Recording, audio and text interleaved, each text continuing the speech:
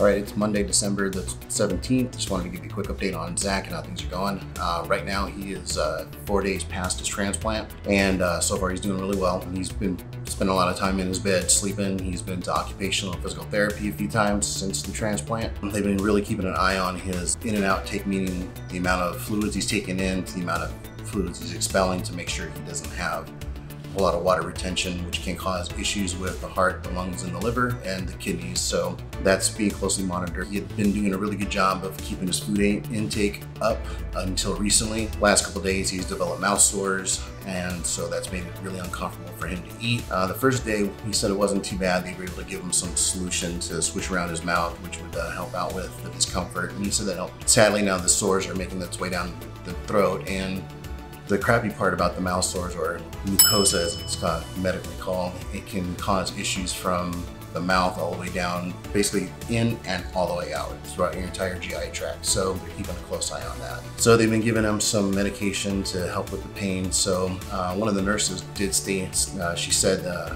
this morning that, you know, he's pretty stoic when it comes to his pain because what his two level is in regards to a scale of one to 10, can be someone else's 10. So uh, that's attributed to just being, you know, tough and have done combat sports. And so he knows what pain is. And plus, you know, he's uh, he's had kidney stones and he said nothing compares pain-wise to kidney stones. Yeah, nothing a whole lot to report on with the last couple days. But um, me personally, I'm, I've, uh, I wouldn't say I'm getting to a breaking point just yet. I am getting to the point where I'm getting really mentally exhausted. You know, the part of a caregiver is to make sure that you're there for the patient when doctors or nurses are not around. So I've been having to stay up to keep an eye on him, make sure that he's doing well, get him to the bathroom if he needs help, um, help him with whatever he needs.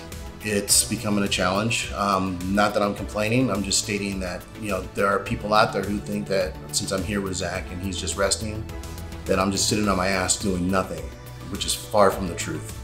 Um, I've only been getting a couple hours, maybe four or five hours of sleep a night at the most. Again, a lot of it has to do with staying up late.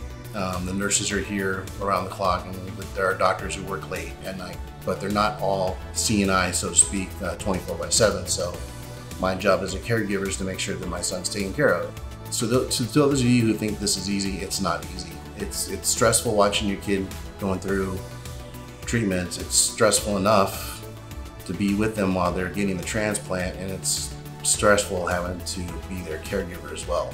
If you find that offensive, I honestly don't give a shit. And if you find it offensive, just unfriend me or unfollow me. I don't give a fuck anymore because quite honestly, um, my son's well-being is more important than stuff going on outside of our realm right now, which is making sure that he gets healthy. He has gone a little bit down because he I know he wants visitors. Uh, he did talk to my wife Kelly, did talk to my sister Amanda, which boosted him up a little bit. It got his spirits up quite a bit. One of my first managers who gave me one of my first jobs, Mike, came out to visit Zach over the weekend or late last week, and that made Zach really happy. Even if uh, people post on his timeline on Facebook, or if you have his phone number, send him a text message, let him know you're thinking about him. That would be awesome. Or if you want, film a little clip saying Zach get well and you know give me a way to download it I could put into a montage clip form, that would be great. You know, as of right now, we're told that um, until the mouth sores start to go away and his ANC numbers come up, we're looking at maybe another 10 days, two weeks tops to be here. I know Zach is a little demoralized, so to speak, but he also knows in the grand scheme of things, it's all for the good. So that's where we're at right now. And I don't have much more of an update for you, but uh, thanks again for everybody who's been watching. You know, please subscribe to the channel if you haven't already. Please hit the notification icon so you get notified when new videos are uploaded. Share on your timeline on Facebook or Twitter, and make sure that um, close-knit group of people, whether it's your family your friends, closer, and let them know how you feel about them because it's not until you go through a catastrophic events that you start to realize how important people are in your life. And make sure you tell everybody you love them. So until next time, um, I'll do my best to take care of myself, but you guys take care of yourself and uh, we'll talk to you guys really, really soon. Thanks and uh, have an awesome day.